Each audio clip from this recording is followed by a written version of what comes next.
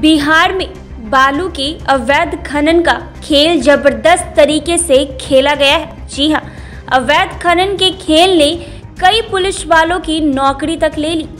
लेकिन इस सब के बावजूद अवैध खनन के मामले में एक बड़ी लापरवाही देखने को मिल रही है। अवैध खनन के खिलाफ खनन विभाग और पुलिस की तरफ़ से छापेमारी तो खूब होती है। लेकिन प्राथमिकता दर्ज करने में बड़ी कोताही बढ़ती गई है। बालू के अवैध खनन पर रोक लगाने के लिए खान एवं भूतत्व विभाग की सारी कवायद होती नज़र आती है। पुलिस की मदद के बाद भी जिलों के खनन अफसर अवैध खनन पर रोक लगाने में फेल हो रहे हैं।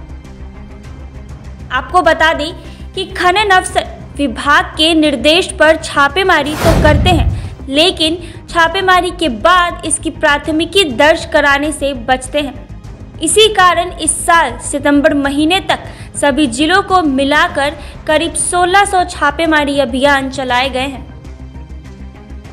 लेकिन प्राथमिकी करीब 350 ही दर्ज कराई गई। कुछ जिलों में तो छापेमारी तो हुई, लेकिन प्राथमिकता शून्य ही रह गई।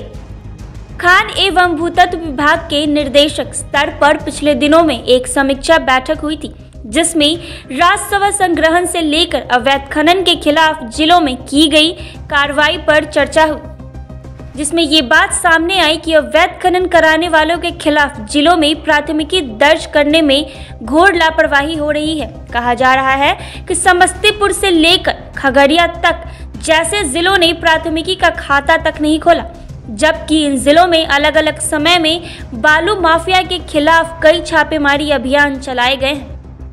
जबकि जो प्राथमिकी दर्ज की गई है, उनकी संख्या 360 है। समीक्षा बैठक में जिलों की ये लापरवाही सामने आने के बाद से विभाग के निर्देशक के स्तर से जिलों के खनन पद अधिकारियों को निर्देश दिए गए हैं। कि अवैध खनन के विरोध ज़िले के संबंधित थाना में प्रत्येक कार्रवाई के खिलाफ प्राथमिकी दर्ज कराई जाए।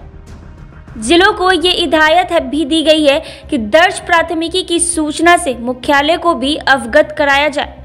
रसूलपुर सहित रोहतास प्रखंड के 10 अवैध बालू घाटों पर जेसीबी मशीन चलाकर रास्ते को बंद कर दिया गया है।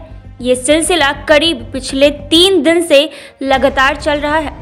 सोमवार को रसूलपुर और समोतवा के सोन नदी में जाने वाले रास्ते पर जेसीबी चलाकर उस रास्ते को अवरुद्ध किया गया है। इसके अलावा तुम्बा बंजारी, जालिम, बिगहा, रोहतास, बसकटिया, जमुई आदि जगहों पर अवैध बालू खनन को लेकर बालू घाट पर रास्ते को अवरुद्ध किया गया है। जी हाँ अवैध खनन का खेल छापेमारी में आगे केस दर्ज कराने में लोग आखिर क्यों रह रहे हैं पीछे? Thank you.